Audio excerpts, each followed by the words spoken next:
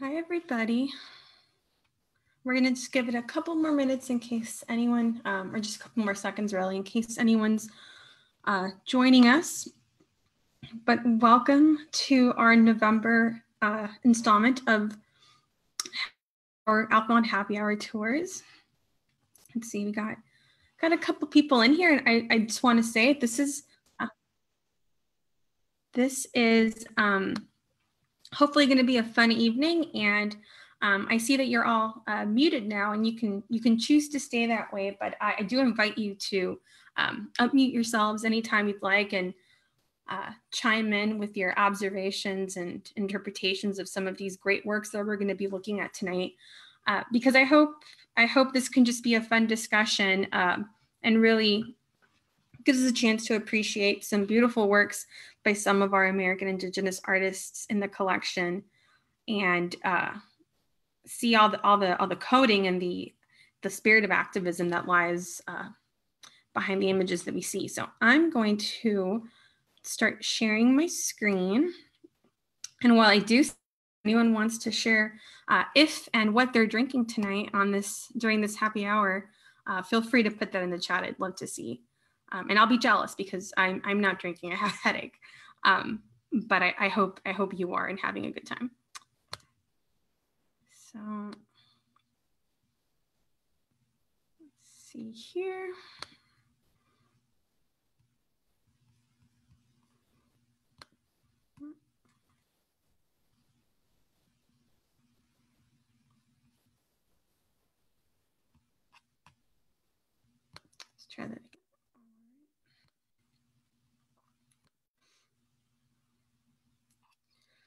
We go.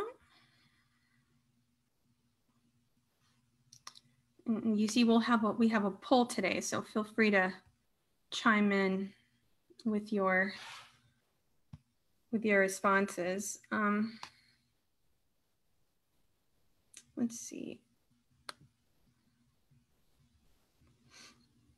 All right, so we will we will begin today um, by looking at this work by artist Jaune Quick-to-See Smith from our collection. And this is a um, mixed media on canvas from 2001 titled um, Where Do, um, excuse me, Where Do We Come From? And this is, uh, all of the works we'll be seeing today are from the Alfond collection. This one in particular is actually up on view right now in the, um, the pre-function spaces on the first floor. So if you're, if you're at the Alfond sometime this week, and you want to take a look, I do encourage you to do so. And um, it's a fairly new acquisition. We got this back in 2018, and it's been um, just a wonderful addition, providing a great springboard to have these conversations and dialogues um, around different uh, visual post-colonial methodologies uh, that are coming from artists from indigenous communities.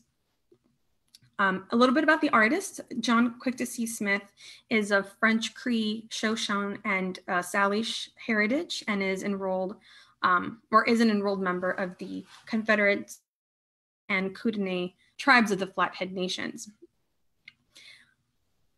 As you see here, a lot of her work focuses on the use of maps and their ability to tell stories. Um, if you spend um, much time with maps um, of any kind, you start to notice that there's a code um, that's built into the way that they're designed. And those codes in the right hands can possess a couple layers of narratives that extend beyond um, ideas of land physicality, but into the areas of geopolitics and uh, capturing lived experiences. Uh, so before we go a little bit further uh, into the work, and I do have, um, I do invite you to put any comments as you see through in the chatter. If you have any questions, feel free to, like I said, unmic yourselves and chime in with a response. Um, but I want you to take a second to, to really look at this map because it's a little different than one we're used to seeing, right?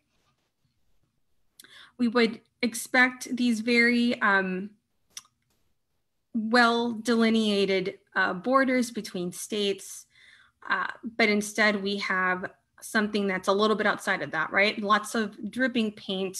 Um, it drips into the oceans, it drips over state lines. And we have these pretty enticing questions that are asked of us as a viewer.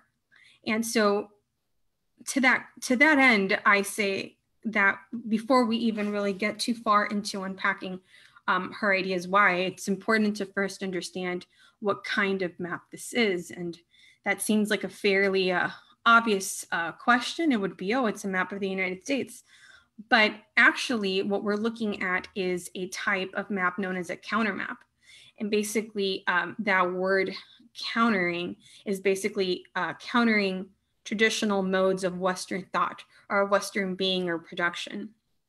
And so these counter maps are these uh, very proactive post-colonial methods of uh, cartography, but their their goal is not to help us get somewhere.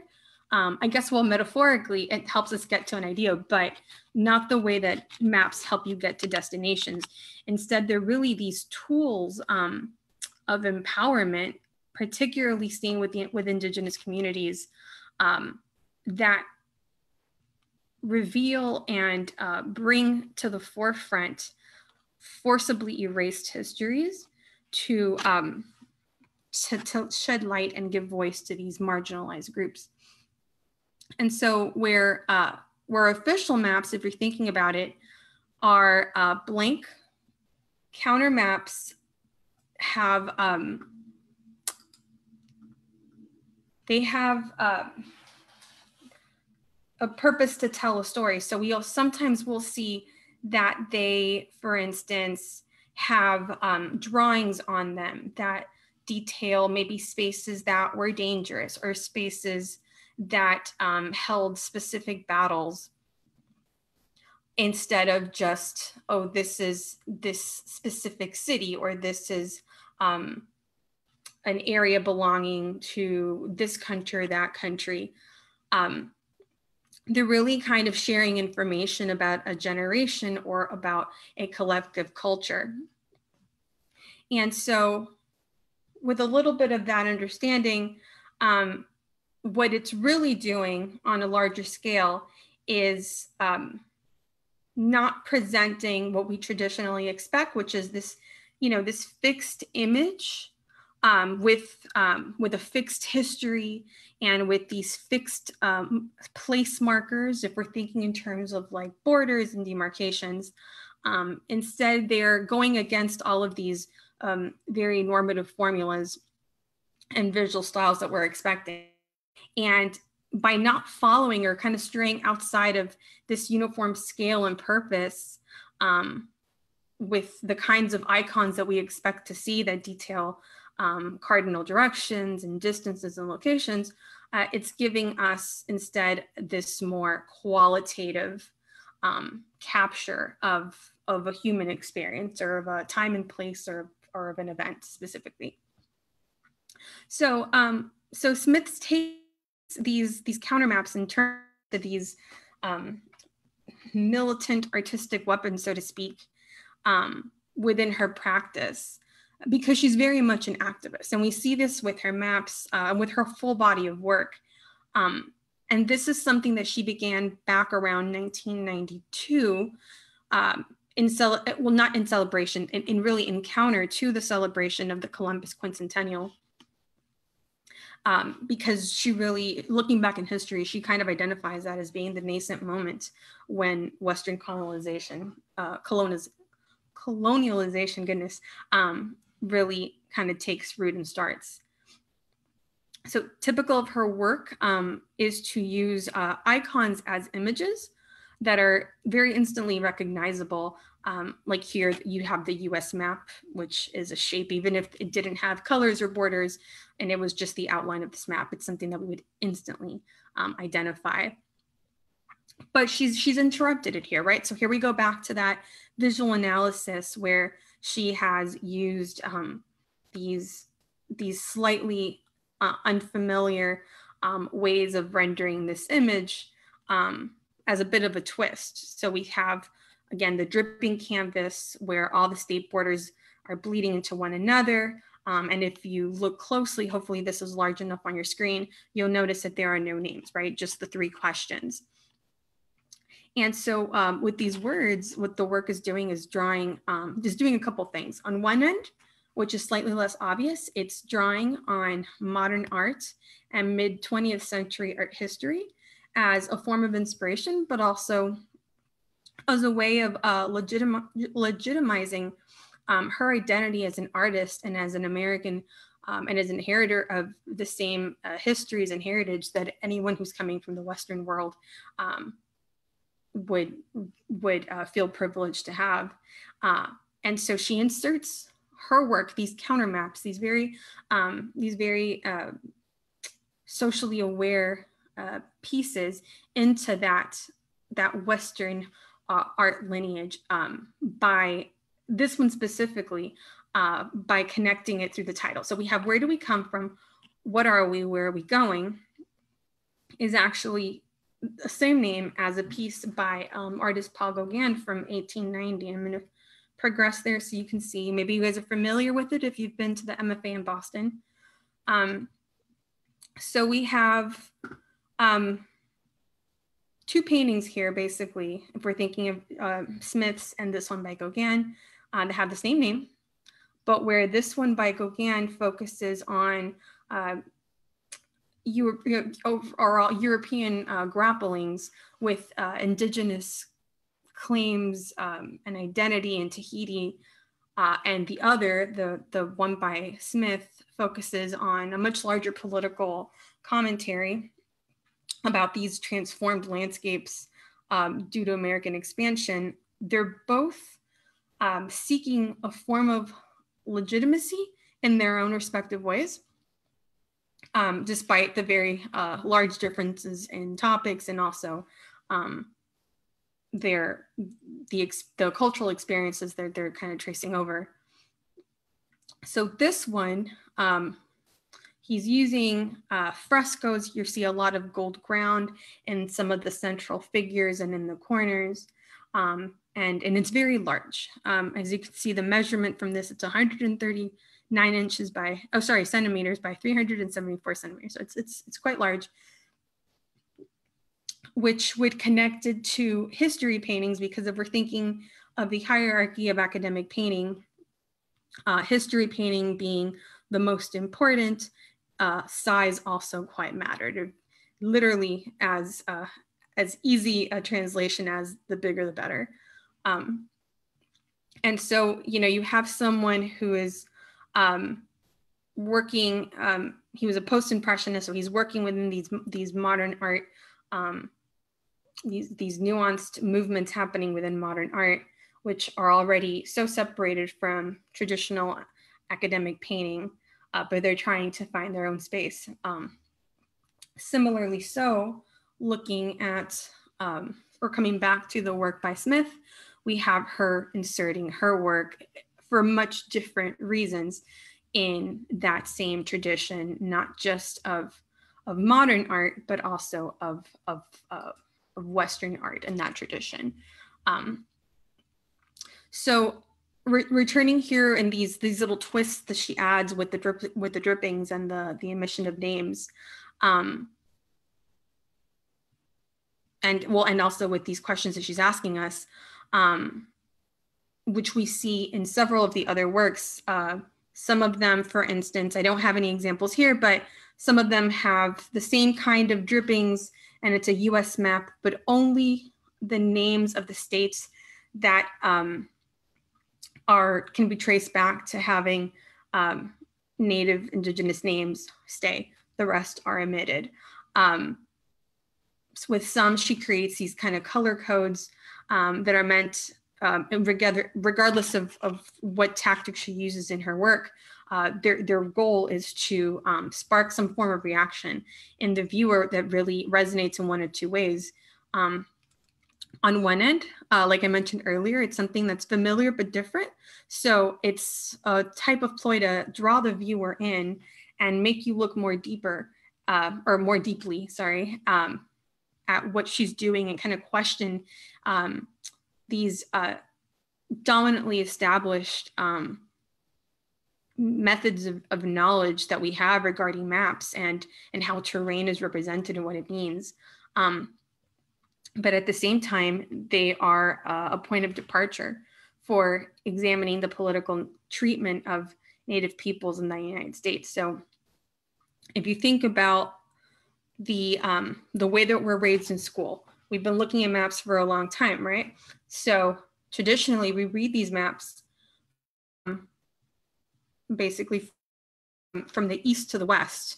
If we're thinking of that manner in which we read it, we're thinking of uh, American history, right? We start with these the 13 colonies in the United States, and then we slowly start to continue west. Um, so accidentally, we're almost complicit in this, right? And we're feeding the system um, that is largely informed down to the way that we read and maps um, by a much larger historical narrative that is largely based on these uh, consequences, these ideas around manifest destiny, and this um, this expansion, or really, if we're thinking about it as a as a counter term, this dis, uh, displacing of what was there before, right? It's almost like uh, if you guys remember uh, blackboards back in school and those ridiculously large erasers that uh, were way too big to erase one line, you would start, you would only use them when you were going to clear everything out, right? So as you go, you're just wiping out everything that's there for what's coming and that's new. Um, but just to keep going with this metaphor of the eraser, because I'm now committed, um, you are leaving a residue. And so it's never fully, fully erased, right? There's, uh, you can, you can whitewash it, but in terms of these, of these maps, it's a way to kind of reveal what was left underneath and bring light to the fact that it's not about one replacing and displacing the other, but rather them coexisting uh, and retaining everything that was. And so um, I think that's a good setup for us before we move into our next uh, our next artist, because these ideas are at the core in, in different ways. They're using different lenses, but really grappling with with these um, with these ideas and with these um, consequences that affect identity and uh, community collectives um, for all of the artists featured here today. So we're gonna progress to the next artist that we'll be looking at tonight. And we're actually gonna be, we're doing a, a double feature for Jeffrey Gibson um, and looking at two of his works. Um, but to give you a little bit of background information on the artist before we start unpacking um, what is uh, Without Secret, one of my favorite works in the collection, and I use it anytime I can. Um, this work called I Don't Belong to You, You Don't Belong to Me from 2016.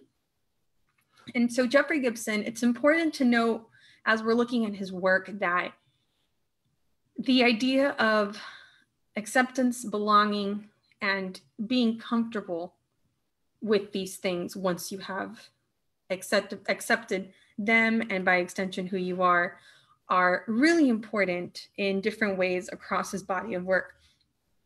So here we have instantly what jumps out at us is or these these words I don't belong to you you don't belong to me and um, those are pretty powerful right? Instantly we start thinking of um, ideas of creating your own agency and of severing uh, dysfunctional or toxic bonds. And so to really understand the impact and the importance of how, how they happened and where they stem from where they stem we we have to look at his his background. And so he grew up um, he spent much of his childhood even though he was born in the united states he spent much of his childhood in um, in germany and in korea and um, he's someone who's from choctaw and cherokee nations of mississippi but when he was living abroad he was always really treated as oh, an American living in Europe or an American living, uh, whether it was in Germany or in Korea. And so he was very um, aware of, on some level, being connected to his American heritage, but because he's existing outside of it, and because by default of not being a naturalized citizen of the countries where he was spending portions of his childhood, um, he had that that outsider experience, this uh, the the experience of the observer, for lack of a better term. and so he moves, returns to the United States, and there it's not lost on him that he's finally back in his country of, of uh, his, you know, his native country where he, you know, where he belongs, you know, to to to load to use this very loaded term, and still kind of an outsider. Um, so, so that's just in terms of of country and nation. But when we start looking at the different communities to which he belongs, it goes far beyond the cities where he was raised versus the country uh, where he was born. But really, he is um, also part of the LGBTQ community. So he's um, experiencing life um, as a gay man in the specifically in the in the 80s and the 90s. But he's he's been in Europe for so long. He he grew up outside or really not not really experiencing the AIDS epidemic in the way that so many people in that community, because we're, we're kind of for momentarily compartmentalizing all the different communities to which he has belonged or rather not belonged. Um, and so even even that which is so tied to his identity, he feels like he's an observer because he didn't um, he, he talks a little bit about feeling something akin to survivor's guilt, but not quite. Um, but he's having that disembodied experience of, you know, I share this with you, but I, I cannot relate to what you went through. So again, I am observing from the outside. And then even connected to uh, the native communities to which he belonged, he was not raised in them. So moving back uh, later on in life, there's still an element of that um, outsider observing because this is not this was not uh, not natural to him these these practices uh, because on top of the fact that he grew up outside of them, these weren't things that were carried uh, carried through in the day to day traditions with his family. He talks a lot about his um, his uh, his parents and his grandparents kind of uh, severing ties with indigenous uh, or cultural indigenous practices and traditions um, and leaning more towards um, assimilation and embodying these more American and urban um, facets of his identity and, and of their collective identity as a family. So he was very much an outsider, even though he was someone who we would identify now as belonging to intersectional communities, but absolutely felt no no rooting or no anchoring in either in any of them. So as you can imagine, that would be very frustrating, um, not just for someone who's really growing and, and shaping as an adult, but someone who is a practicing artist, because how much of our identity in some form um, affects the work that we produce. So um, so with this work we see and we're going to continue that that idea of belonging and and ties to to, to communities more uh, in the in the following work as well but right now i want us to kind of look at um, we have here in front of us and this is a diptych made of glass crow beads and tobacco tin jingles along the side and so here we see a bit of a blending of these spaces because um, in, in conversation to or in, in concert with saying that he had that um, quasi survivor's guilt uh, and didn't really feel like he belonged so much in as part of part of the gay community he did find um, some solace and acceptance in gay club culture in new york city of, of the 80s and into the specifically the 90s and so um, in these spaces, uh, these these safe spaces for so many,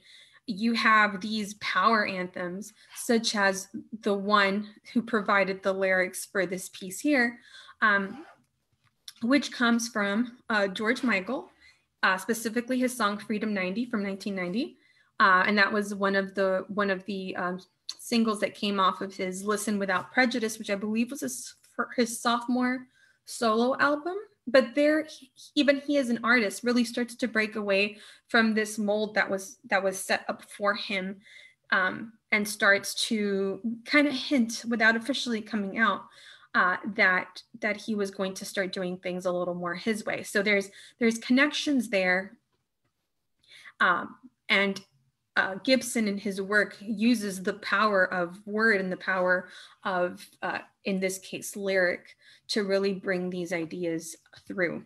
Oops, sorry. So to go back to, to this piece, so we see a connection there in the text, and this is something that he does often. Um, it really started with him um, in, in, terms of his body of work with the Everlast series, which um, if we have any any boxers or, or kickboxers in the group today, um, Everlast, that is the brand of, of, punching bags that you see in gyms, and uh, which is which seems really random, right? Except to say that as he was grappling with all of these ideas and all these all this confusion, he took up boxing to blow off some steam which seems like a really good idea actually. And it became a really cathartic process. So he ended up um, kind of forming a bond with these with these punching bags as symbols of um, with these masculine symbols that also kind of absorbed a lot of violence. And so he dressed them in these um, in these beautiful um, decorative hangings made of these same crow beads and these jingles and they had these words these very empowering words which early on was mostly based on uh, song lyrics but then eventually um, turned to also just general phrasing.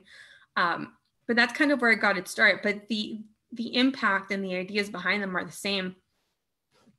And if you look carefully at the the backgrounds of these of these two diptychs, you see these triangular shapes. And so here we have him kind of digging a little deeper into his cultural background and creating or really giving a nod to indigenous textile patterning.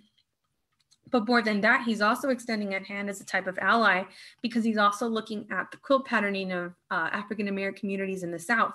So, two groups of marginalized peoples that are trying to to claim visibility um, to overcome a, a, horrible legacy that was um, pretty much decided for them. And so through through something as simple as that graphic element, he he connects that. Um, we're going to see him using graphic shapes again in the next work because there's there's a definite influence of op art, which is basically optical art, and the idea of how geometric shapes affect our perception and how we uh, look at planes of space. He doesn't adopt their ideas 100%, but it is influenced by them. And um, and like I said, we'll talk about that a little bit more the next piece because it's a little more obvious there.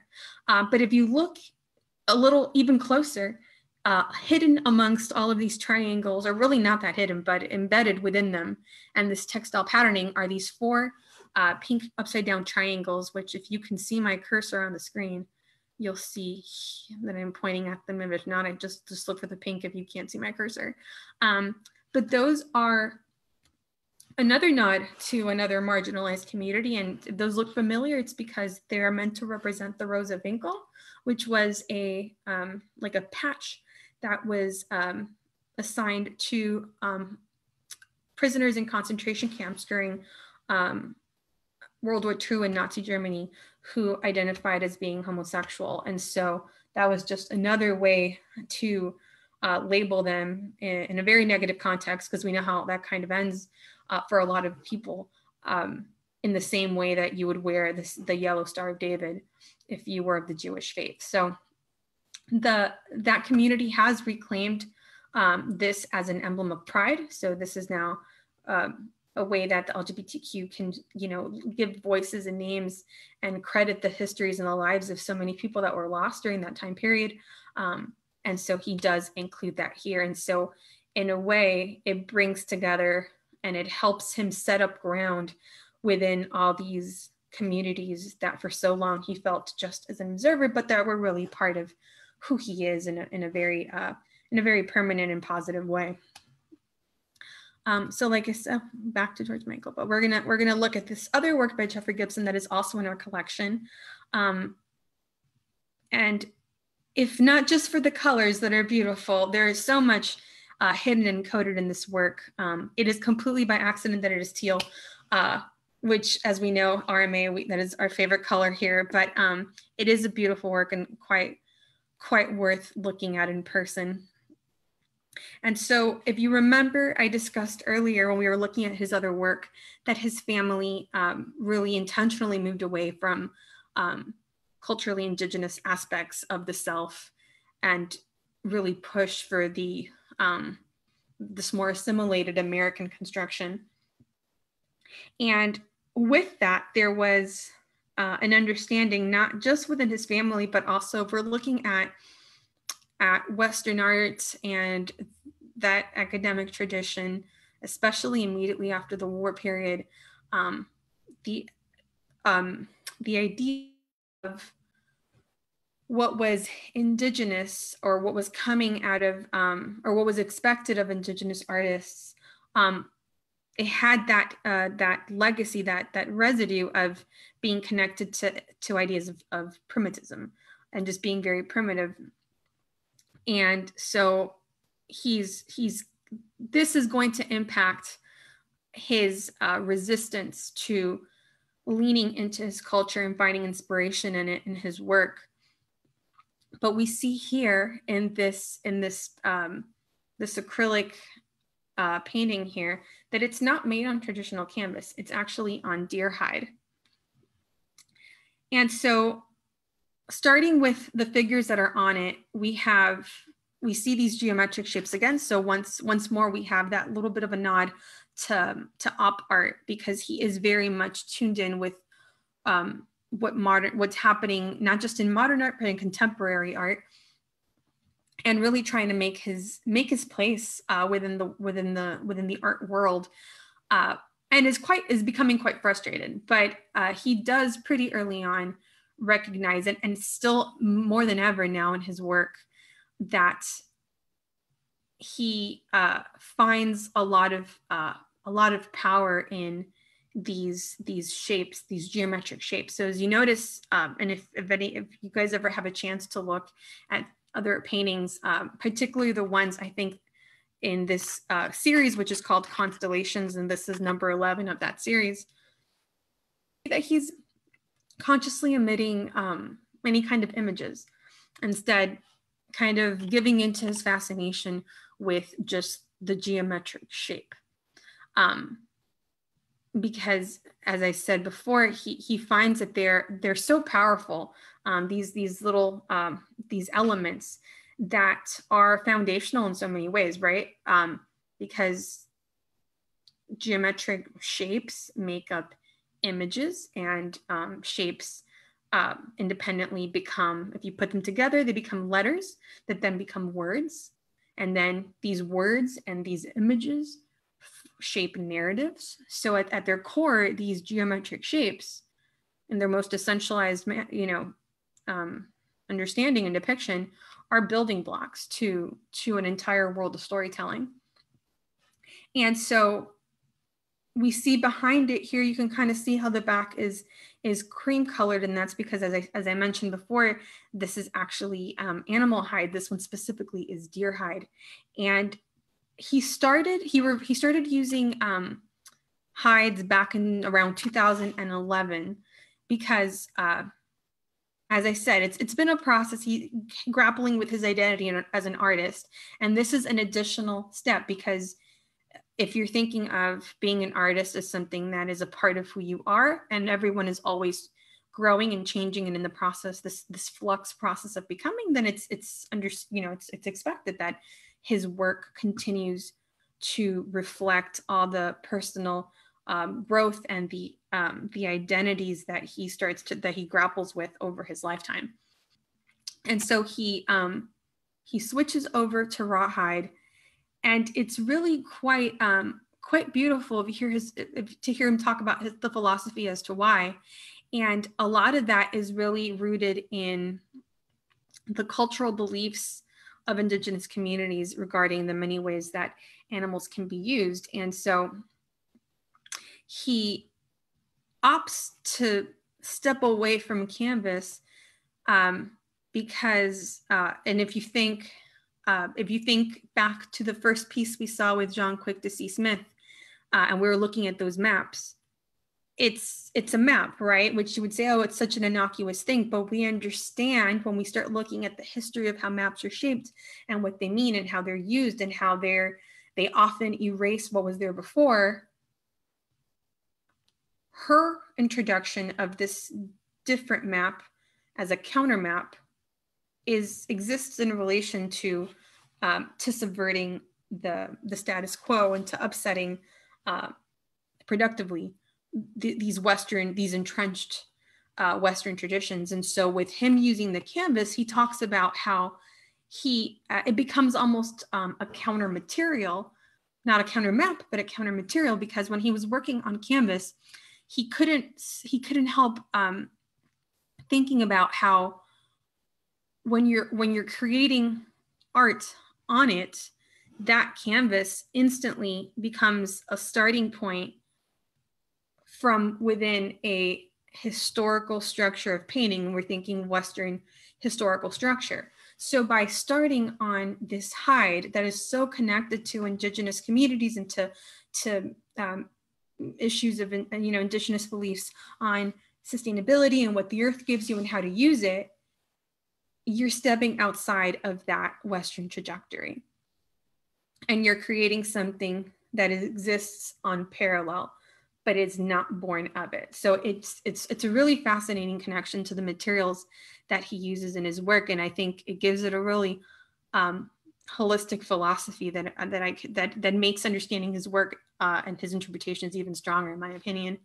Um, so you have this this hide as the base, and then you have these very free shapes that he intentionally, even though he understands how they can be grouped and how they can change and into these words or images that create narratives, he keeps them as the ge- geometric shape on purpose um, because by keeping them as these original uh, essentialized elements uh, in their in their in their pre-becoming before they would turn into a word or an image, it it kind of suspends them um, as as objects of potential uh, and they they live in this this stasis where they can be anything they want to be. And that's a really interesting approach to how he thinks about not just materials but his his his work and, and the, the things that he is creating when you think of it as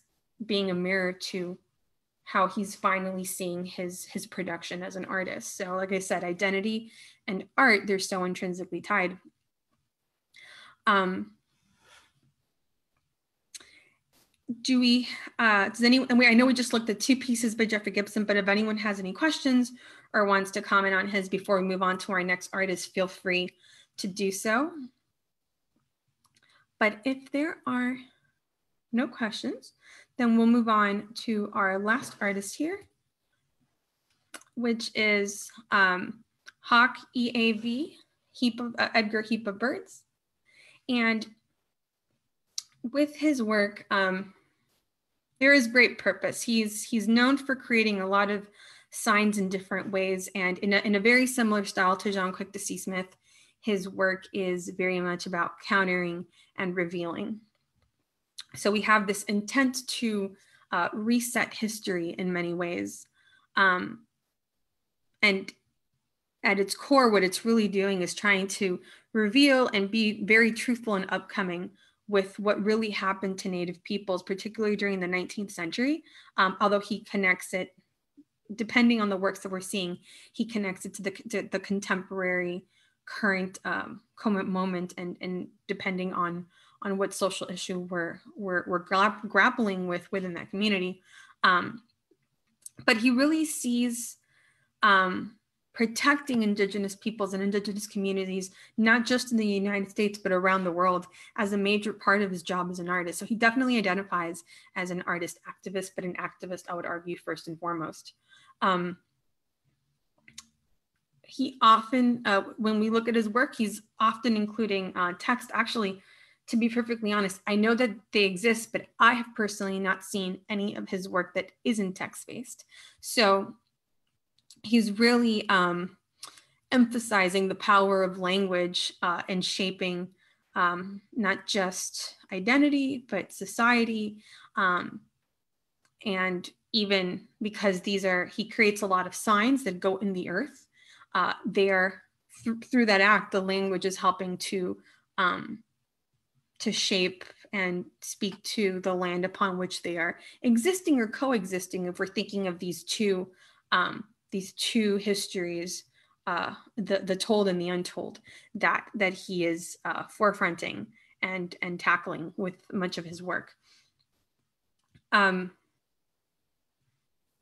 but we're looking at if you look at this this piece right now that's on the screen, uh, these these signs are tacked on a wall, right? And so by displaying in a museum, I think it's really interesting that suddenly we add uh, another dimension of space uh, to claim or to dispute uh, because the second this language enters the museum, um, it's broken into the, you know, the, what do you call it? The white cube, right? The, the ivory tower of, uh, of something that's uh, of, a, of a space that is so charged with being central to how culture is created and disseminated in the United States, well, in the Western world. Um, and it's uh, bringing in bodies that are traditionally excluded from from these spaces. Um, but with this work, as you can see, the last the last of the three signs uh, lets us know that we're we're talking also we're connecting that the now with the past. Um, mid mid 19 well early to mid 19th century it's also bringing in a lot of people who have passed who who, whose lives were uh, basically forced from them in many ways. Uh, so it's it's working on a couple of different levels. Um, and so what we can deduce from from from his work overall is that he he uses art um, as a weaponizing of these words and directly confronts um, let's say American viewers because he's you know he's showing these in the United States um, and elsewhere as well, but we're, we're looking at this within within the context of the here and now. Um, he's confronting the viewers as being complicit with their colonial pasts, um, and and its very violent legacy in a, in way that we saw with the first piece by Jaune Quick-to-See Smith with those questions.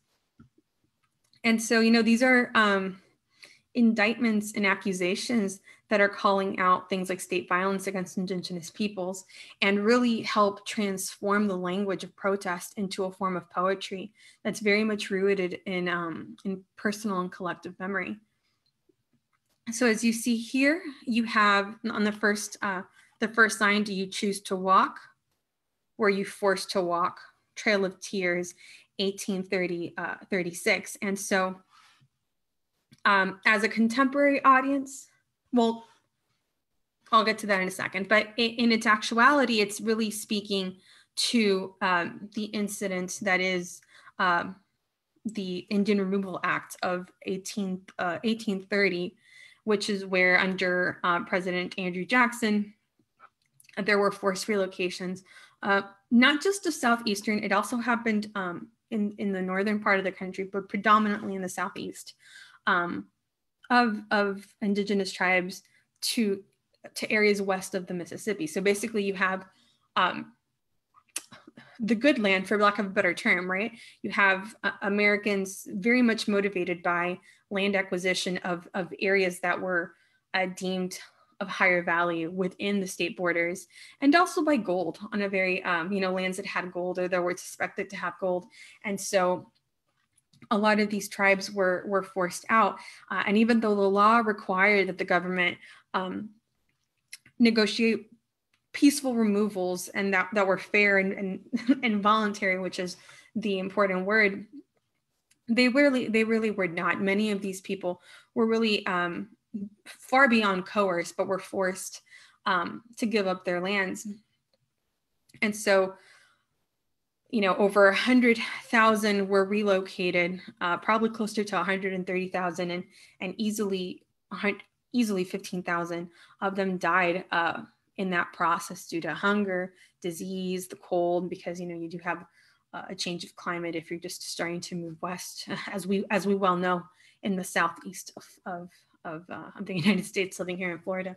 Um, and so he's he's acknowledging that, but at the same time, so those questions are really posed to those who experienced this specific um, this specific journey and it poses you know were did you was it your choice or were you forced but at the same time i think it works on two levels because as a contemporary audience we look at these and it i can't have got allyship on the brain from from our our current exhibition ally is a verb. But i see do you choose to walk or were you forced to walk? As kind of a on some level a call to, to us as viewers to really think of where where we stand on these issues and what we're doing as a as a as a modern and hopefully progressive uh, national community to to to create change and and help um, help really uh, make a lasting impact.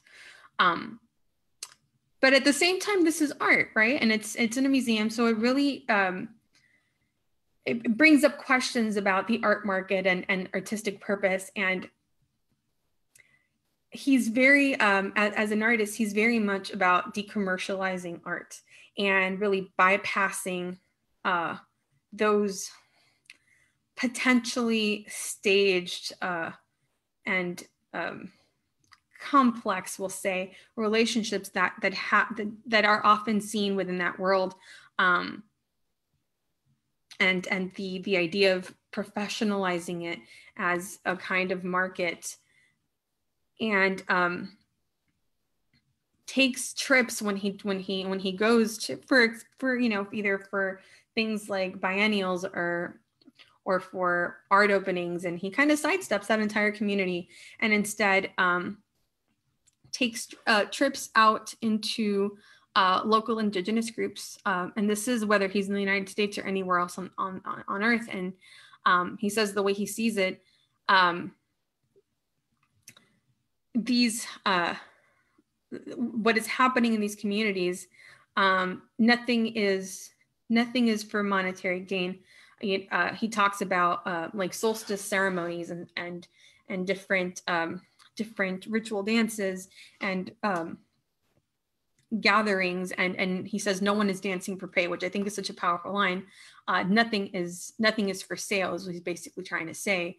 Um, so it's not about creating these bonds so that he can go then produce art that it that has a market that translates into basically the experiences um, um, commercialized into something that can be bought and sold. Instead, it's really about um, building those relationships, about um, creating um, work that is uh, motivated by something outside of what can be uh, given a, a price and really um, creating um, something that bonds. These these these that's the, the, whole point of these collaborations. So he'd rather spend time there and um, exist in a very traditional place um, so that when he does leave that and, and goes back into this more contemporary um, urban sphere, um, the motivations that that go with you to produce and to yourself are rooted in these um, transparent and sincere um, pockets of experience rather than than translated into into just something that is that is produced for value so definitely a powerful artist um, and one that I think we're very privileged to have in our collection. Um, and that's that's what I have for you today. Um, I hope you're not sick of hearing me talk, and I do uh, do invite you all to to unmic or um, or ask any questions, whether it's verbally, which I hope, or, or in the chat. Uh, and I'm going to now that I'm I'm going to unshare my screen so that I can see anything you guys might have put in the comment boxes.